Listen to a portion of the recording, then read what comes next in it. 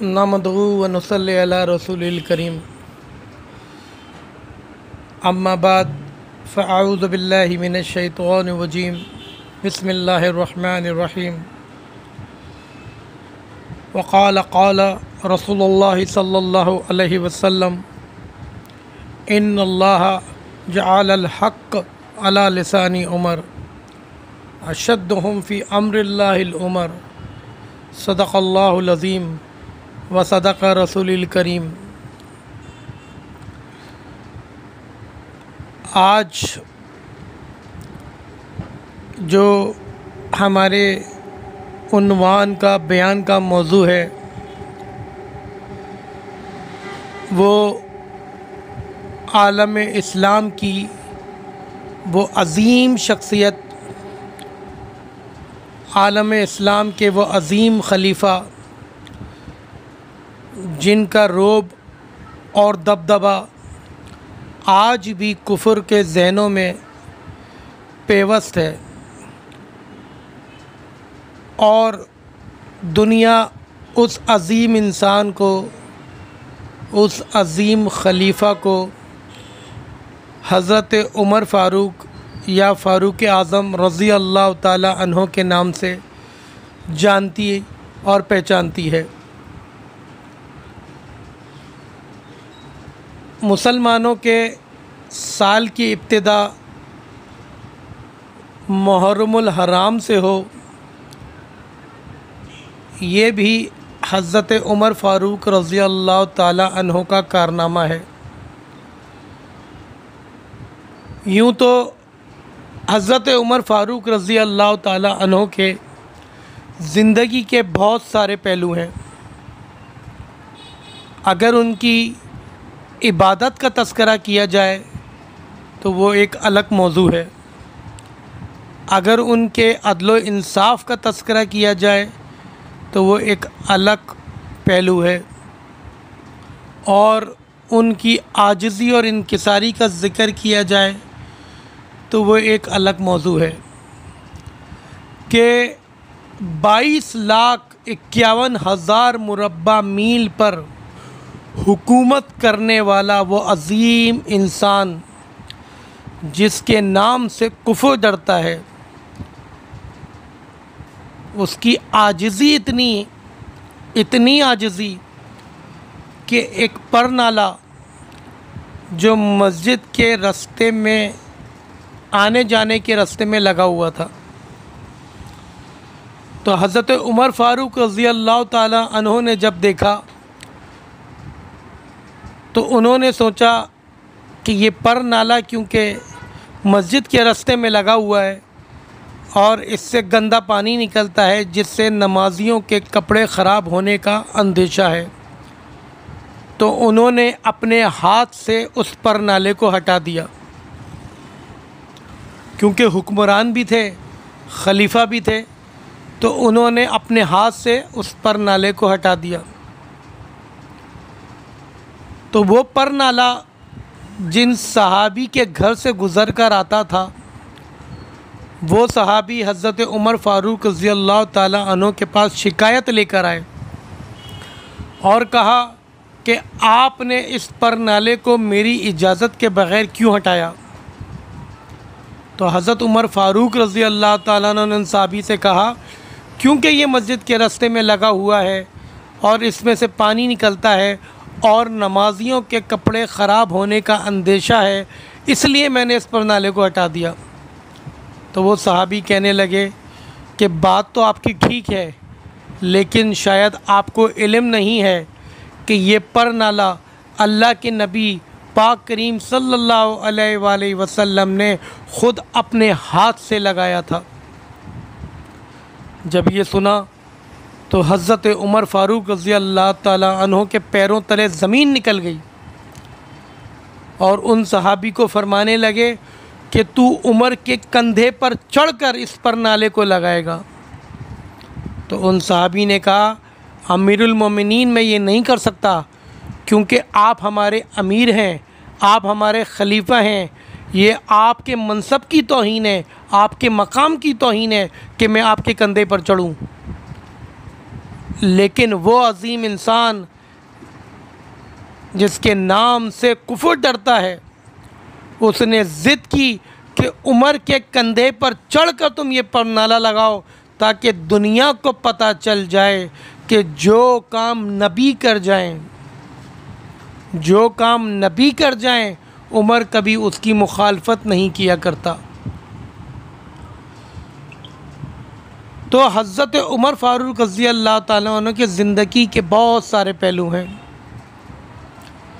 आज जो मुसलमानों में पर्दा राइज है, आज जो मुसलमान औरतें पर्दा करती हैं तो ये हज़रत उमर फ़ारूक रज़ी अल्लाह ताला का ही कारनामा है कि उन्होंने अल्लाह के नबी पाक सल्लल्लाहु अलैहि वसल्लम से कहा कि अल्लाह के रसूल, पर्दा होना चाहिए।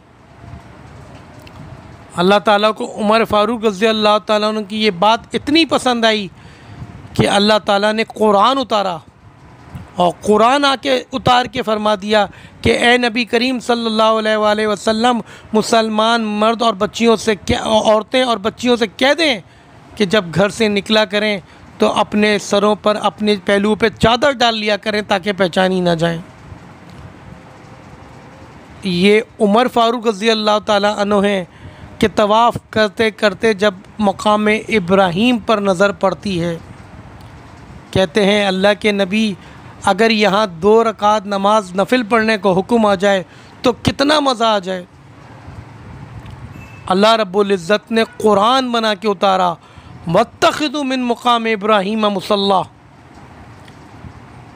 तो हज़रत उमर फ़ारूक रज़ी अल्लाह ताला तो वो हैं कि वो 28 मशवरे आप सल्लल्लाहु अलैहि वसल्लम को ज़मीन पर देते हैं और अल्लाह ताला उनकी तायद में उन 28 मशवरों पे कुरान उतार देता है। और हज़रत उमर फ़ारूक रज़ी अल्लाह तहो तो वह हैं जिनके बारे में नबी पाक करीम सल्लल्लाहु अलैहि वसल्लम फरमाते हैं इन अल्लाह जाल हक़ अला लसानी उमर, कि अल्लाह ताला ने उमर फ़ारूक रज़ी अल्लाह तहों के ज़बान पर हक़ जारी कर दिया कि उमर की ज़ुबान से निकलता ही हक़ है और उमर की राय गलत नहीं होती। उमर की राय गलत नहीं होती, क्योंकि उमर राय ज़मीन पर देते हैं, अल्लाह ताला आसमान से कुरान बना के उतारता है। तो हज़रत उमर फ़ारूक रज़ी अल्लाह तु की ज़िंदगी के बहुत पहलू हैं। आजिज़ी ऐसी है कि क्या कहने? एक दफ़ा एक मुनाफिक और यहूदी में लड़ाई हो गई, आप सल्लल्लाहु अलैहि वसल्लम के दौर में। आप वसल्लम के दौर में मुनाफिक और यहूदी लड़े और जब लड़ाई हो गई तो यहूदी ने कहा कि नबी पाक करीम सल्लल्लाहु अलैहि वसल्लम के पास चलते हैं फ़ैसला कराने के लिए। और मुनाफिक ने कहा, मुनाफिक बज़ाहिर तो मुसलमान होता है, लेकिन अंदर से वो मुसलमान नहीं होता। बज़ाहिर तो वो लगेगा आपको बहुत बड़ा अल्लामा, फ़हामा, ड्रामा, लेकिन अंदर देखो तो ना कमीज़, ना पजामा, कुछ भी नहीं। जो मुनाफिक था, उसने कहा, यहूदियों को जो बड़ा है, काफ बिन अशरफ उसके पास चलते हैं। दोनों फैसला करके लेकर आए नबी पाक करीम सल्लल्लाहु अलैहि वसल्लम के पास। आप सल्लल्लाहु अलैहि वसल्लम ने मुनाफिक की और यहूदी की दोनों बातें सुनी और सुनने के बाद आप सल्लल्लाहु अलैहि वसल्लम ने फ़ैसला दिया यहूदी के हक़ में और कहा, यहूदी सच बोल रहा है, मुनाफिक झूठ बोल रहा है। तो यहूदी के हक़ में फ़ैसला दिया आप सल्लल्लाहु अलैहि वसल्लम ने। तो मुनाफिक ने कहा कि मुझे ये फ़ैसला मंजूर नहीं है। मुनाफिक को कभी भी नबी का फ़ैसला पसंद नहीं आता। हज़रत अबू बकर सिद्दीक रज़ी अल्लाह तनों को मुसल्ले पर खड़ा करना ये नबी का फ़ैसला है। मुसलमान को तो पसंद आएगा, पर मुनाफिक को पसंद नहीं आएगा। हज़रत आयशा रज़ी अल्लाह तनों से निकाह करना, ये अल्लाह का हुक्म और नबी का फ़ैसला है। मुसलमान तो कहेगा कि ये नबी का फ़ैसला बिल्कुल हक और बरक लेकिन मुनाफिक को ये फ़ैसला पसंद नहीं आएगा। हज़रत उस्मान को अपनी दो बेटियाँ निकाह में देना, ये नबी का फ़ैसला है। मुसलमान को ये फ़ैसला पसंद आएगा, पर मुनाफिक को ये फ़ैसला पसंद नहीं आएगा। तो उस मुनाफिक ने कहा कि मुझे ये नबी का फ़ैसला पसंद नहीं है। हज़रत उमर फ़ारूक के पास चलते हैं फ़ैसला कराने। हज़रत उमर फ़ारूक रज़ी अल्लाह तु के पास आए दोनों, यहूदी और मुनाफिक, और कहा कि हमारे दरमियान झगड़ा है, इख्तिलाफ़ है, आप फ़ैसला कर दें। हज़रत उमर फ़ारूक ने यहूदी से पूछा हाँ भाई, क्या बात है? क्या इख्तलाफ है? तो यहूदी ने कहा, जो इख्तिलाफ़ था नबी ने फ़ैसला कर दिया है और नबी ने फ़ैसला भी मेरे हक़ में किया है। तो हज़रत उमर फ़ारूक ने मुनाफिक से पूछा हाँ भाई, ये सही कह रहा है? तो मुनाफिक ने कहा कि हाँ ये सही कह रहा है कि नबी ने फ़ैसला तो इससे के हक़ में कर दिया है, लेकिन मुझे ये फ़ैसला मंजूर नहीं है, पसंद नहीं है। इसीलिए मैं आपके पास आया हूँ। तो हज़रत उमर फ़ारूक ने कहा, रुक, फिर मैं फ़ैसला करता हूँ। अपने दरवाज़े पे खड़े थे। अंदर जाकर अपनी चमकती हुई सैफ़ फ़ारूकी को उठाया और मुनाफिक की गर्दन को सर से तन से अलग किया और तन से अलग करने के बाद कहा कि जो नबी के फ़ैसले को ना माने तो फिर उमर का ये फ़ैसला होता है। जो नबी के फ़ैसले को ना माने, फिर उमर का ये फ़ैसला होता है। अब क्योंकि मुनाफिक बज़ाहिर तो मुसलमान होता है। फिर तो मुसलमान होता है। अंदर से वो मुनाफिक हो, लेकिन बज़ाहिर तो मुसलमान होता है। तो मदीने की गलियों में एक वलवला मच गया, वावेला मच गया, कि मुसलमान को उमर ने कत्ल कर दिया। एक मुसलमान को उमर ने कत्ल कर दिया। और अब हमें किसास दिलाओ और किसास क्या? कि जान के बदले जान। अब हमें किसास दिलाओ। तो जब आप सल्लल्लाहु अलैहि वसल्लम तक ये बात गई तो आप सल्लल्लाहु अलैहि वसल्लम ने हज़रत उमर को बुलाया। उमर ये क्या कर दिया? हज़रत उमर ने कहा, ए अल्लाह के रसूल, मुनाफिक था, आपके फ़ैसले का मुनकर था। तो आप वसल्लम फरमाया, उमर, बात तो ठीक है लेकिन बज़ाहिर तो वो मुसलमान था, लोगों की नज़रों में तो मुसलमान था। अब ये किसास का मुतालबा कर रहे हैं। अब अगर इसके बदले में तुझे मारा ना गया तो लोग क्या कहेंगे कि नबी फ़ैसला गलत करता है, नबी अपनों को बचा लेता है, नबी जो है ना करीबों को बचा लेता है। लेकिन नहीं, नबी तो ऐसा हक का फ़ैसला करता है कि एक लड़की लाई गई, जिसका नाम इत्तेफाकन फ़ातिमा था और उसने चोरी की थी। किसी ने कहा, या रसूल अल्लाह छोड़ दीजिए, गरीब लड़की है। तो आप सल्लल्लाहु अलैहि वसल्लम फरमाया, ना ना, अगर इसकी जगह मोहम्मद की बेटी फ़ातिमा भी होती तो उसके हाथ काट दिए जाते। तो नबी तो ऐसा हक का फ़ैसला करता है, अब उमर, तुझे अगर कसास के बदले में मारा ना गया तो लोग बातें करेंगे। तो कुरान आया, हज़रत उमर फ़ारूक रज़ी अल्लाह तु की तायद में कुरान आया। सुबहान अल्लाह क्या शान है अल्लाह ताला की, अल्लाह ताला ने कुरान उतार दिया हज़रत उमर फ़ारूक की तइद में। तो आप सल्लल्लाहु अलैहि वसल्लम ने फरमाया, ऐलान किया कि उमर अल्लाह ताला ने फरमा दिया है कि ए नबी करीम सल्लल्लाहु अलैहि वसल्लम, उस शख्स को कोई भी शख्स उस वक्त तक मोमिन नहीं हो सकता, जब तक वो तेरे फ़ैसले को माने ना, जब तक तेरे फ़ैसले को तस्लीम ना करे, उसे मुसलमान ना कहना। वो मुनाफिक तो हो सकता है, वो काफिर तो हो सकता है, लेकिन वो मोमिन नहीं हो सकता। तो हज़रत उमर फ़ारूक रज़ी अल्लाह तु का ऐसा रोब, ऐसा दबदबा और ऐसी आजज़ी। और आजज़ी भी ऐसी कि दुनिया से जा रहे हैं तो अपने चेहरे को कच्ची मट्टी पर मल रहे हैं। बेटे ने कहा, अब्बा, क्या कर रहे हैं? फरमाया, शायद अल्लाह को मेरे इस हाल पर रहम आ जाए।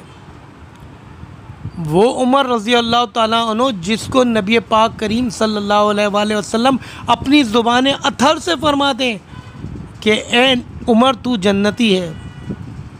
और फरमाएँ कि उमर जब मैं महराज पर गया तो मुझे एक जन्नत में महल दिखाया गया।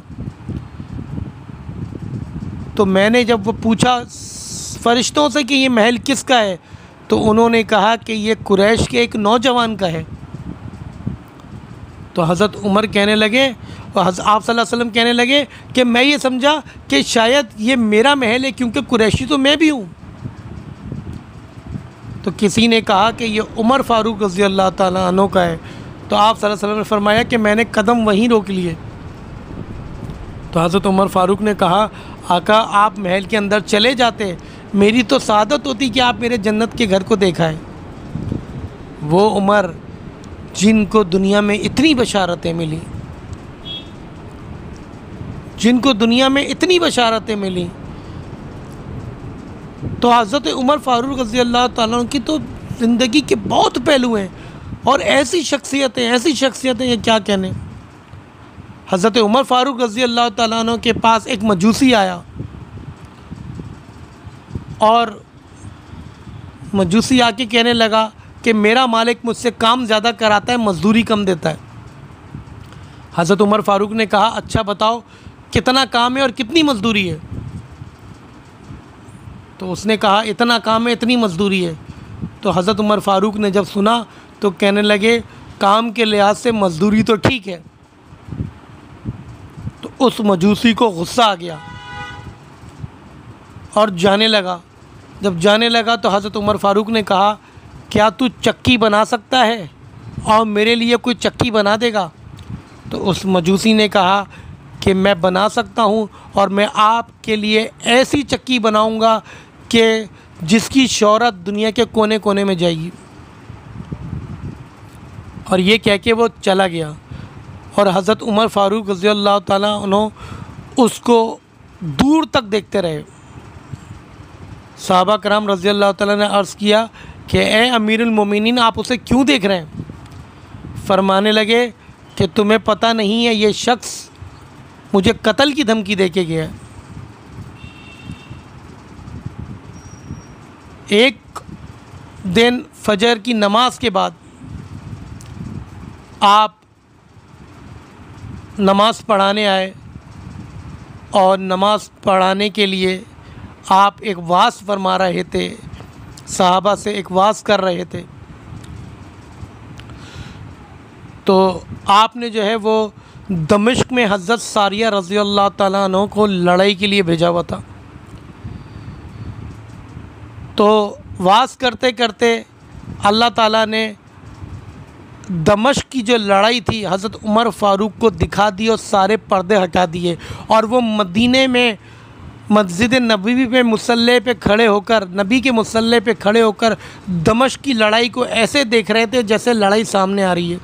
अल्लाह ने सारे पर्दे हटा दिए।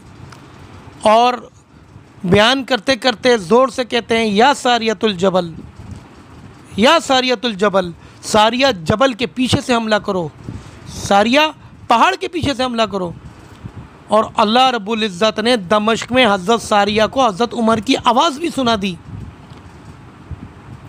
और अल्लाह ताला ने यहाँ एक अकीदा भी सिखा दिया और समझा दिया कि अगर अल्लाह दिखाना चाहे तो मदीने में रहकर दमश की लड़ाई दिखा दे। और ना दिखाना चाहे तो मिंबर के पीछे छुपा हुआ कातिल ना दिखाए। और ये वही कातिल, वही मजूसी जिसने कहा था कि मैं आपके लिए ऐसी चक्की बनाऊँगा कि जिसकी शहरत दुनिया के कोने कोने तक जाएगी।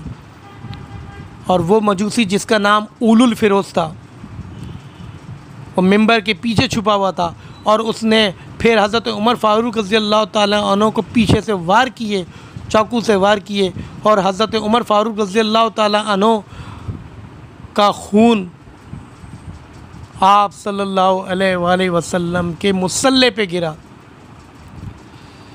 हज़रत उमर फ़ारूक रज़ी अल्लाह ताला दुआ किया करते थे, या अल्लाह शहादत की मौत अता कर और मदीने में, नबी के शहर में अता कर। लेकिन उन्हें क्या पता था कि अल्लाह ताला उनकी इस दुआ को किस तरह कबूल करेगा? कि शहादत की मौत भी होगी, नबी के शहर में भी होगी, मस्जिद नबी में भी होगी और नबी के मुसल्ले पर भी होगी। वो मुसल्ला जिस मुसल्ले पर नबी की पेशानी लगी, सल्लल्लाहु अलैहि वसल्लम, वो मुसल्ला जिस पर हज़रत अबू बकर सिद्दीक रज़ी अल्लाह ताला की पेशानी लगी, उसी मुसल्ले पर हज़रत उमर फ़ारूक रज़ी अल्लाह ताला का खून गिरा। रोज़ क़यामत किसी शहीद का, शहीद की गवाही कोई मैदान जिहाद देगा, कोई तलवार देगी, कोई कुछ देगा, लेकिन हज़रत उमर फ़ारूक रज़ी अल्लाह अनहों के शहादत की गवाही नबी का मुसल्ला देगा। तो ये उमर फ़ारूक रज़ी अल्लाह अनो हैं, जिन्होंने, जिनको मुराद मुस्तफ़ा या दुआए मुस्तफ़ा भी कहा जाता है कि जिनके इस्लाम लाते ही अल्लाह ताला ने इस्लाम को कुवत बख्शी। ऐसे ऐसे हुक्मरान हुआ करते थे। ऐसे ऐसे हुक्मरान हुआ करते थे। आज जितने भी बुरे लोग हैं, वो हमें मिल गए हुक्मरानों में। कोई एक हमें भी उमर फ़ारूक रज़ी अल्लाह ताला जैसा हुक्मरान मिल जाता। अल्लाह ताला हमें अपने सहाबा रज़ी अल्लाह तु की कदर करने वाला बना दे, उनके नक्श कदम पे चलने वाला बना दे। उन्होंने किस तरह नबी पाक करीम सल्लल्लाहु अलैहि वसल्लम से मोहब्बतें निभाई हैं, किस मट्टी के बने हुए थे। किस तरह से मोहब्बतें निभाई हैं? किस तरह से नबी पाक सल्लल्लाहु अलैहि वसल्लम का साथ दिया है? अल्लाह ताला हमें उनके नक्श कदम पे चलने वाला बनाए, उनकी कदर करने वाला बनाए। ये बहुत बहुत बहुत अजीम लोग हैं। इनके बारे में ज़रा सी बदगुमानी रखना अपने ईमान को ख़राब कर देने के मतरादिफ है। अल्लाह ताला मुझे आपको हम सबको समझने वाला बना दे। इनकी कदर करने वाला बना दे।